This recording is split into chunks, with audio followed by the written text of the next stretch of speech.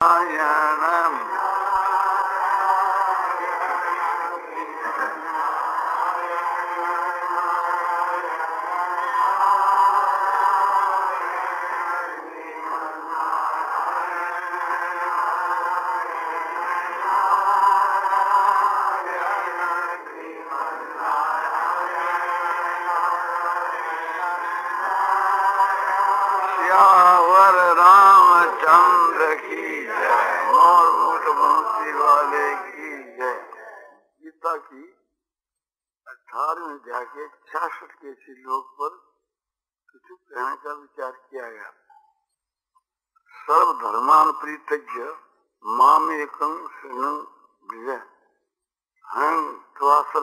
हो मोक्ष श्यामी माँ सुचय इसमें चार बात कही।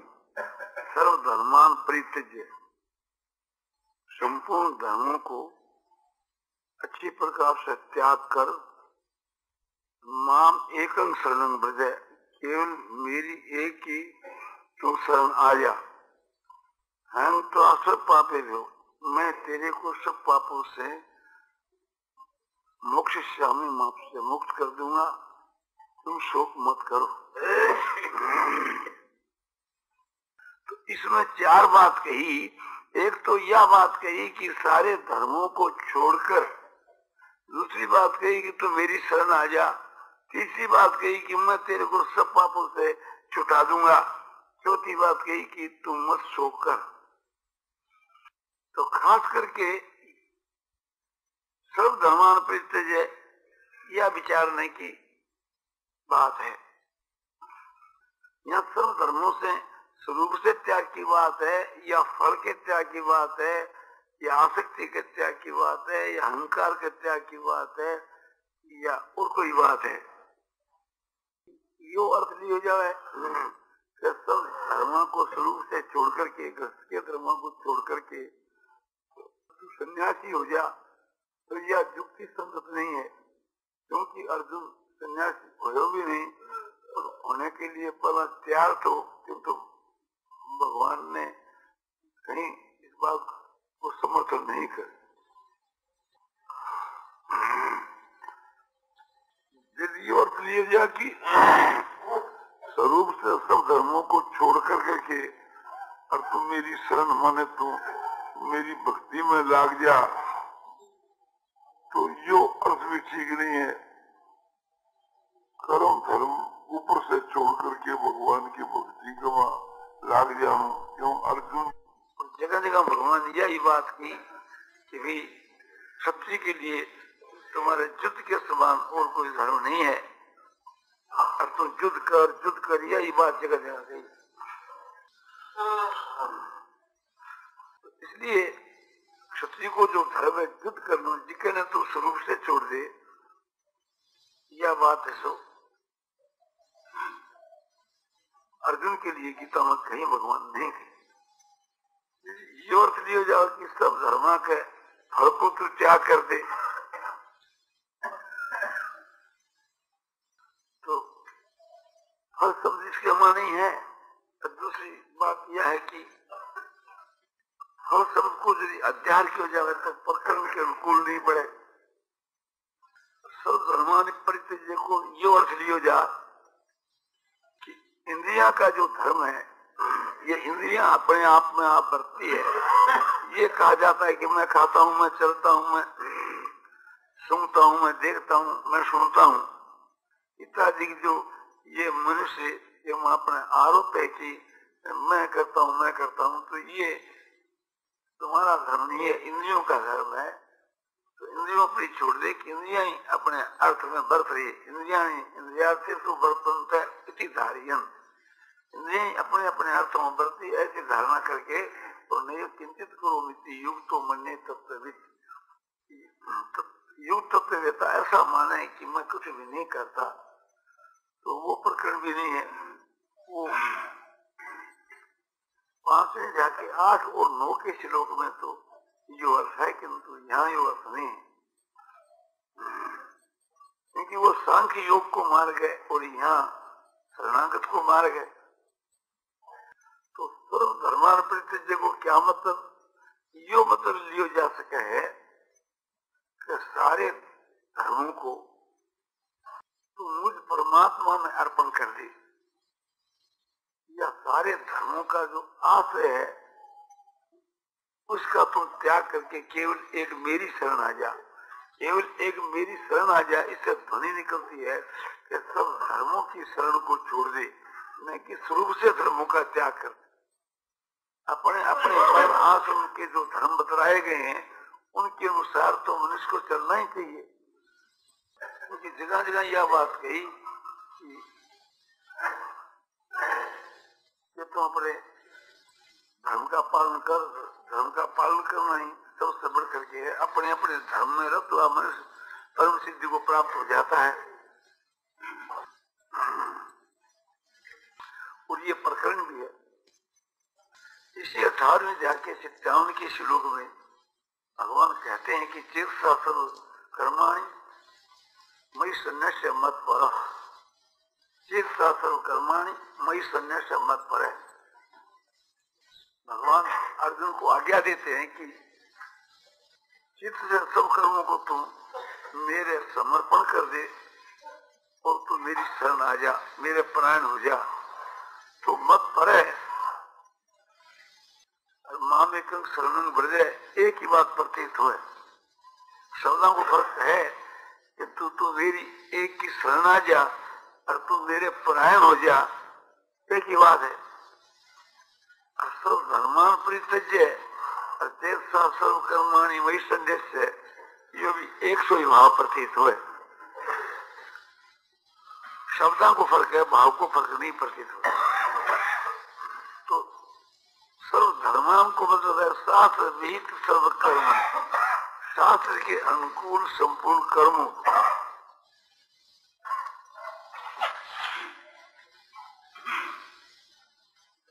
प्रत्येक सर्व कर्मानी वही शून्य से चित से संपूर्ण कर्मों को तू मेरे में समर्पण कर दे। तो यहाँ यो भाव ठीक है कि सारे धर्मों को यदि शास्त्र भी तो संपूर्ण कर्मों को मुझ परमात्मा में तू समर्पण कर दे और तू मेरी शरण आ जा। तो परमात्मा के बीच कर्मों का समर्पण करना क्या है?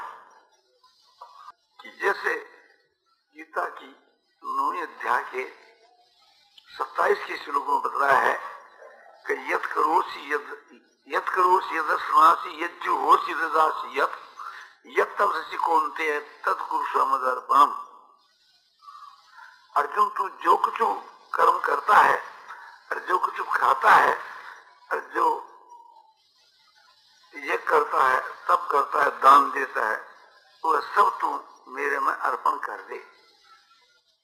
एक तो ये अर्पण करना है कि कर्म कर, कर्म करने के अंत के माँ श्री कृष्णात्म वस्तु वाणी से थी के बीच के माँ ये भी ठीक है कि जब वाणी से अर्पण कर देता है तो आगे जाकर के मन से भी सो करने लग जाता है।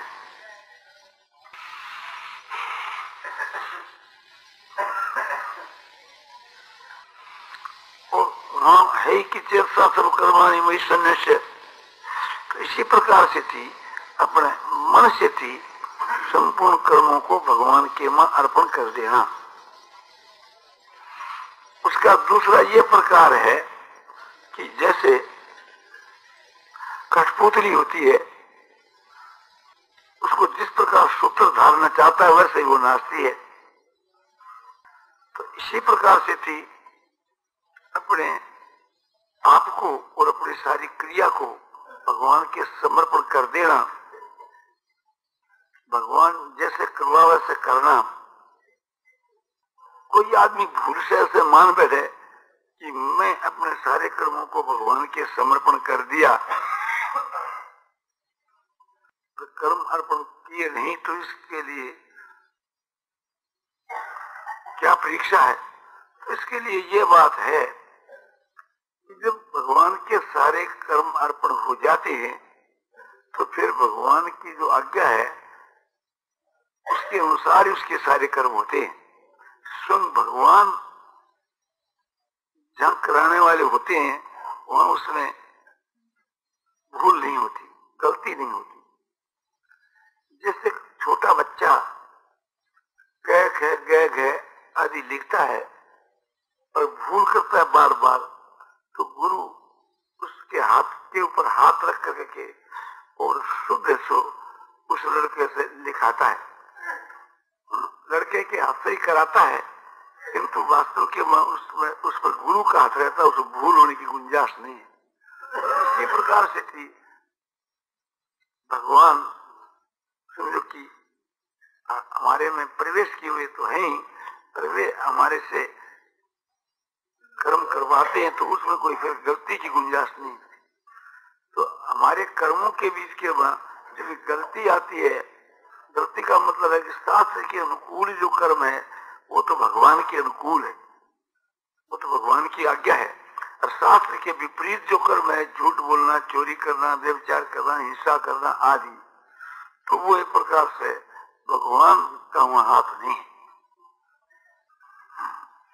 तो यही उसकी परीक्षा है कि फिर हमारे सारे कर्म शास्त्र के अनुकूल स्वाभाविक ही होने लगेंगे तो सर्वधर्मान परिचय मन परिमान अच्छी प्रकार से थी, सब ओर से थी। तो एक प्रकार से सारे कर्मों को अपने परमात्मा के बीच के वहाँ अर्पण कर दे। और तुम एकमात्र मेरी शरण आ जा। यानी मेरे स्व और किसी का भी भरोसा मत करना। मेरे ऊपर तू निर्भर हो जा। मैं जिस प्रकार से तेरे लिए करूँ, उसमें तुम सो प्रसन्न है तो ये बात बतलाई गई कि हमारे ये जो कुछ सुख दुख लाभ हानि आकर के प्राप्त हुए उसमें हमको निर्विकार रहना चाहिए, संभाव रखना चाहिए। यानी जब हम परमात्मा की शरण हो जाएँगे तो एक प्रकार से और परमात्मा पर हम निर्भर हो जाएँगे तो फिर जो भी कुछ आकर के प्राप्त हुए, उसमें हमको प्रसन्नता होगी। क्योंकि जो कुछ होता है भगवान का ही विधान है।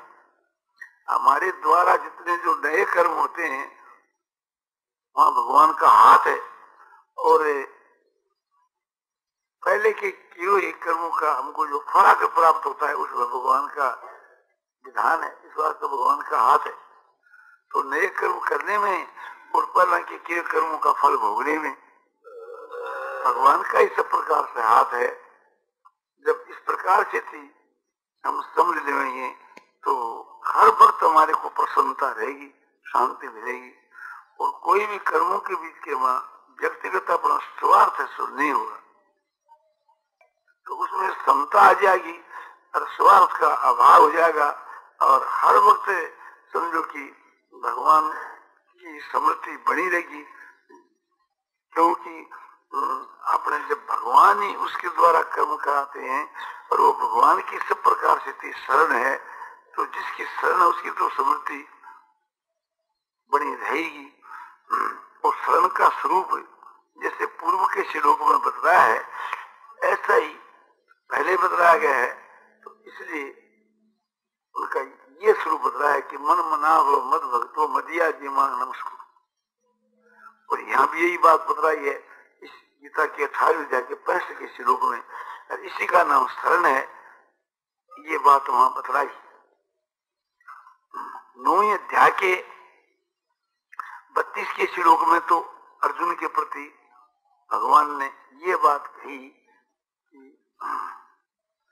मांग पार्थ विकासित ये भी शुपाप योन स्त्रियो वैशा तथा शूद्रा से पियांति परांगति स्त्री वैश और शूद्र मेरी शरण हो करके परम गति को प्राप्त होता है। स्त्री शूद्र वैश्य नहीं, जो पाप योनि भी क्यों नहीं हो, वह भी मेरी शरण होकर के परम गति को प्राप्त होता है। किंतु यहाँ शरण किसका नाम, ये बात नहीं बतलाई। इसलिए आगे जाकर के बतलाया कि मन मना हो मत भक्तो मदिया जी मांग नमस्कुरु मामे वैश्य युक्त महात्मा नंग मत परायण है। अर्जुन तो मेरे में मन को लगा, मेरा ही भक्त हो जा, मेरी पूजा कर, मुझको ही नमस्कार कर। इस प्रकार से थी मन मुझमें लगाए हुए मेरी शरण होकर के तू मुझको ही प्राप्त होएगा। तो इस प्रकार से थी भगवान ने वहाँ कहा है तो शरण के चार प्रकार बतलाए। मन मनाव, मद भक्तो भव और मद याजी और मांग नमस्कुरु वही बात यहाँ भगवान कहते हैं पूर्वार्ध में कोई फ़र्क नहीं है। सर्व धर्मान तजे के पूर्व का जो श्लोक है, एक प्रकार से ये शरण का प्रकार है, और इसके बाद में तो इस प्रकार मेरी शरण आ जा, ये एक आज्ञा है। का प्रकार का यहाँ समझो की समार किया गया है। मन मना हो मद भक्तो मदिया जी मान नमस्कुरु माँ में वैसे सत्तम ते प्रति जाने प्रियोसी में। ये अठारह अध्याय का प्रश का श्लोक है। इसका ये मतलब है कि अर्जुन, तुम मेरे में मन को लगा, मेरा भक्त हो जा और मेरी पूजा कर और मुझको नमस्कार कर। इस प्रकार करने से तो मेरे को ही प्राप्त होगा। मैं तेरे प्रति सब प्रतिज्ञा करके कहता हूँ। क्योंकि तू मेरा प्यारा है। तो अब ये विचार करना चाहिए कि मन मना होगा, क्या मतलब है कि तू मेरे में ही मन को लगा दी। यानी मन से तू हर वक्त मेरो ध्यान रखे, मेरो समन रखे, मेरो चिंतन कर। मन से तुम मन भूला मत। मेरे में तुम उनको समावेश कर दे। और मत भक्तो भाव का मतलब यह है कि तू जो है, मेरा भक्त हो जा। यानी मेरे में प्रेम करने वाला बन जा और मेरी आज्ञा के पालन करने वाला बन जा। मेरी तू सब प्रकार से तीर्थो सेवा कर। तो मन मना हो मत भक्तो भव। और मदिया जी ये तू मेरी पूजा कर। भगवान को एक देश के माँ मान करके पूजा करना, या सबके माँ भगवान विराजमान हो रहे हैं, ऐसा समझकर भगवान की पूजा करना, ये अपने अपने पद्धति के अनुसार मनुष्य कर सकता है। यथ प्रवृत्ति भूताना, ये न सर्विदंग तथम स्वकर्माप्तम धैर्य सिद्धि बिंदती मानवे। या भी पूजा भगवान ने बतलाई गीता अध्याय अठारह, श्लोक छियालीस के माँ कि जिस परमात्मा से यह संसार उत्पन्न हुई है, जो परमात्मा इस संसार के माँ व्यापक है, उस परमात्मा को अपने अपने कर्मों के द्वारा पूज करके मनुष्य परम सिद्धि को प्राप्त हो जाता है। और मांग नमस्कार, तू मेरे कोई नमस्कार कर। यानी तू मेरे चरणों में आकर के गिर जा।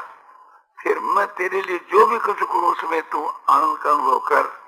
तो इस प्रकार से ये शरण का प्रकार बतलाया और इसका ही कहा कि इस प्रकार मेरी शरण होने से तो मेरे को प्राप्त होगा, इसमें कोई भी शंका की बात नहीं है। मैं तेरे प्रति सत प्रतिज्ञा करके कहता हूँ, क्योंकि तू मेरा प्यारा है। यदि कहो कि भाई, एक प्रकार से यह बात पहला भगवान कही चुके, फिर क्यों कही? और इसलिए कही कि अर्जुन ने उस वक्त ने गौर करके ख्याल नहीं किया। और भगवान को अर्जुन अत्यंत प्यारा था, इसलिए यह बात कही, इसके पूर्व के श्लोक के माँ भगवान ने प्रतिज्ञा भी की है सर्व कुछ तमंग हुए श्रेणु में परमंग बचे इष्टोशी में दृढ़ मिति, तत्व मिते हितम। एक तो बात गोपनीय होती है और एक उससे भी गोपनीय होती है, वो गुज्जतर है, और उससे भी गोपनीय होती है, वो गुज्जतम है।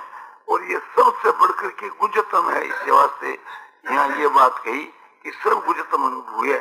ये बात पहला माता ने कही है, और तो फिर भी तू मेरे से सुन ये मेरा जो परम जो वचन है, इसको तू फिर भी मेरे से सुन।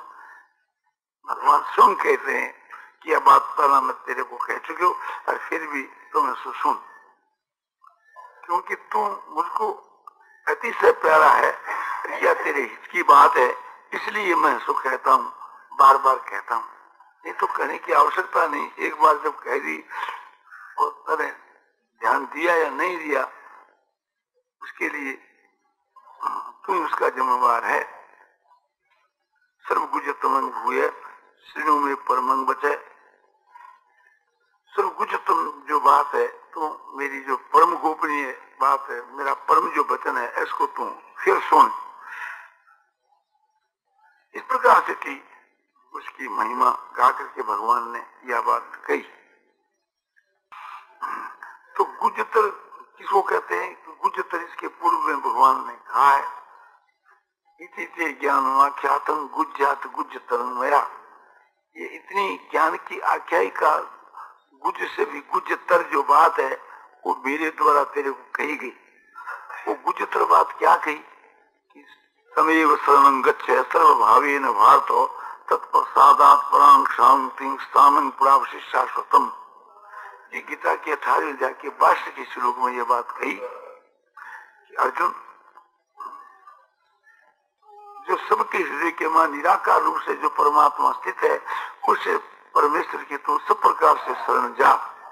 उसकी कृपा से तू परम शांति और अविनाशी स्थान को प्राप्त होगा। तो यह गुजतर बात है। और यह जो समझो सब धर्मान परित्यज या गुजतम है तो वह गुजतर या गुजतम कारण, और कारण ये है कि वहाँ तो ये बात बतलाई जाती है कि परमात्मा सब संसार के वहाँ व्यापक है। ईश्वर सब भूतान हृदय से अर्जुन तिष्ठती। ईश्वर सब भूत प्राणियों के हृदय के में स्थित है। सब भूत प्राणियों के हृदय में जो स्थित ईश्वर है, उसकी तो सब प्रकार से शरण जा। तो यह बात तो एक हर एक उपदेशा जो है, गुरु जो है समझो कि व्याख्यान दाता है, कोई भी ये कह सकता है कि उस परमात्मा की तू शरण जा। किंतु ये थोड़ा कह सकता है कि मैं परमात्मा हूँ, तू मेरी शरण आ जा। तो स्वयं भगवान अपना परिचय दे रहे हैं कि मैं साक्षात पूर्ण परमात्मा हूँ, इसलिए तू मेरी शरण आ जा। तो ये अंतरंग बात है, गुजतम। उससे गुजतम में भी गुजतम है। और ये एक प्रकार से थी आपने कोई ऐसी बात नहीं है कि कहने के बीच के माँ तो इसलिए उससे ये बात बढ़ करके है, अपना यहाँ परिचय देना है कि मैं एक प्रकार से ईश्वर हूँ, मैं परमात्मा हूँ। तो स्वयं भगवान प्रकट होकर के ऐसा परिचय तो उसको देते हैं कि जो अपना अतंत प्यारा भक्त होता है। तो सर्वधर्मान परित्यज्य मामेक शरण केवल एक मेरी शरण आ जा यानी मेरे स्वा और किसी का किंचित मात्र तुम आसरा मत रखना। हम क्लास पापे भी हो और कहते हैं, मैं तेरे को सारे पापों से मोक्ष श्यामी मैंने छुटा दूँगा। तो मतलब यह है कि अर्जुन, के मन में ये भय था कि वो मैं बड़ा भारी सो पाप कर रहा हूँ, ऐसा पश्चाताप करता था। तो भगवान ने कहा कि नहीं तो यहाँ जब भगवान की आज्ञा के अनुसार ही चलता है और भगवान को ही अपना सर्वस्व समर्पण कर देता है तो फिर इसमें तो पाप होता ही नहीं तो सब पापों से मुक्त कर दूँगा। ये अप्राप्त का निषेध क्यों? तो कहता है कि अप्राप्त का निषेध नहीं है। आज के पहले जितने जो पाप जो कर चुके हैं ना, उन पापों के लिए कहना है। और अनुसंगिक इसमें भी कोई पाप बनती के आ जावे तो वो वास्तव में पाप ही नहीं है। और यदि अर्जुन उसको पाप माने तो भगवान गारंटी देते हैं कि तू मेरी शरण आ जा, फिर मैं तुम्हारे को गारंटी देता हूँ कि मैं सब पापों से तेरे को मुक्त कर दूँगा। भगवान जमा मारी लेते हैं। और माँ सोचे माँ सोचे करके यहाँ एक प्रकार से समाप्ति कर दी आपने प्रकरण की और व्याख्यान की। शुरू के बीच के माँ, समझो कि जहाँ उपदेश आरंभ हुआ है, भगवान की तरफ़ से वो अश्वत्यानंद सोचस्तुम प्रज्ञापादान से भाष से गता सुन गता सुन से नानुश्रुतंती पंडिता। अर्जुन, जो शोक करने के योग नहीं है, उनके लिए तो शोक करता है। और पंडितों के वचनों को कहता है, किंतु पंडित जन जो होते हैं जिनके प्राण चले गए, उनके लिए भी शोक नहीं करते। जिनके प्राण नहीं गए, उनके लिए भी शोक नहीं करते। और तू शोक करता इसलिए पंडित नहीं है। तो यहाँ अर्जुन के दिल के वहाँ शोक था तो वहाँ भगवान ने ये निषेध किया कि तू शोक करने के लायक नहीं है, उनके लिए शोक करता है। अतः उनके लिए शोक नहीं करना चाहिए। जब मैं एक प्रकार से थी अपनी जिम्मेवारी लेता हूँ तो तुम्हारे को शोक नहीं करना चाहिए। तो मेरी शरण आ जा और मेरे ऊपर सब भार छोड़ दे, फिर मेरी जिम्मेवारी रही, मैं सब कुछ ठीक कर लूँगा। तुम कोई बात से घबरा मत। इस प्रकार यहाँ अर्जुन को कह करके और ये व्याख्यान समाप्त कर देते हैं। तो ये अंतिम उपदेश है। और ये भी समझना चाहिए कि सब माने सारे धर्मों को तू मेरे में समर्पण कर दे। यानी दुनिया के माँ जो दूसरे आदमी धर्म के नाम से व्याख्या करते हैं, उनको तुम धर्म मत समझना। मैं जो तेरे को कहूँ, उसी को तू धर्म समझ। और ऐसा जब जब मौका आया है, तब तो तब अर्जुन ने अपने बात को छोड़ करके भगवान ने जो बात कही है, उसी को धर्म मान करके उसका पालन किया है।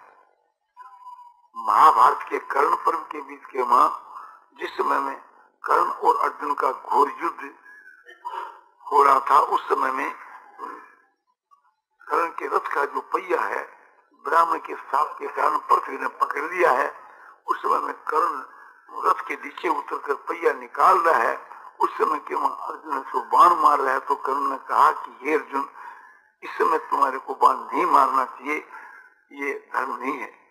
तो एक बड़ा धर्मात्मा पुरुष है सहसरा बाबू अर्जुन के समान तुम वीर है, और उसी के माफक तुम धर्मात्मा है तो ऐसे तेरे जैसे पुरुष को जो है, ऐसा नहीं करना चाहिए। जब मैं रस का पहिया निकाल लू रथ पर सवार हो जाऊँ तब तुम्हारे को बाण मारना चाहिए। अर्जुन ने ये बात सुनकर के ठीक समझी कि भाई ठीक है, ये धर्म के अनुकूल कर्ण सुबचन कहता है, तेरे को समय में बाण नहीं चलाना चाहिए। अर्जुन जो है बाण चलाना बंद करना चाहता था, किंतु भगवान ने कहा कि नहीं, तुम बाण चलाओ। तो अर्जुन ने सोचा कि जो भगवान कहते हैं वो ठीक है, हमको बाण चलाना ही चाहिए। अब भगवान एक प्रकार से उस समय में कर्णों को कहते हैं। कर्ण जो धर्म धर्म चिल्लाता है तो भगवान उसको समझाते हैं कि तू जो कहता है कि यह धर्म है, किंतु यह धर्म की जो मर्यादा थी, तुम लोगों ने तो शुरू से छोड़ दी और अब तू धर्म धर्म चिल्लाता है चिल्लाने से कोई ये धर्म तुम्हारी रक्षा नहीं कर सकता। शुरू के माँ भीमसेन ने तुम लोगों ने विष दिया, क्या वह तुम्हारा धर्म था? और उसके बाद पांडवों को लाखा भवन में जलाने के लिए तुम लोगों ने तजवीज की, क्या वो तुम्हारा धर्म था। उसके बाद के बीच के समझो कि से पांडवों को जुए में जीत कर करके और द्रौपदी को सभा में बुला करके उसकी तुमने बेइज्जती की, ये क्या तुम्हारा धर्म था? और पांडव लोग जब वन में जाकर के तपस्या करने लगे और तुम लोग समझो कि उनको मारने का उद्देश्य कर करके गए और चित्रसेन गंधर्व तुम दुर्योधन को पकड़ के ले गया और महाराज जिससे ने समझो कि भीम अर्जुन के द्वारा उनको छुटाया, उस वक्त में आपको धर्म याद नहीं आया? इस वक्त ही आपको धर्म याद आया? और जब समझो कि पांडव लोग तेरह वर्ष के बाद आए और मैं संधि कराने के लिए आया